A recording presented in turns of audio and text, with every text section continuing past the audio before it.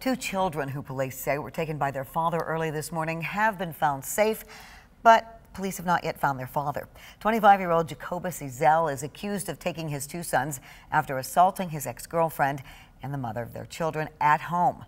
Ezell does not have custody of the two boys. Wyoming police responded to the home just before 5.30 this morning.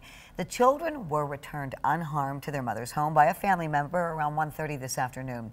We're told the case will be reviewed by the Kent County Prosecutor's Office for potential charges.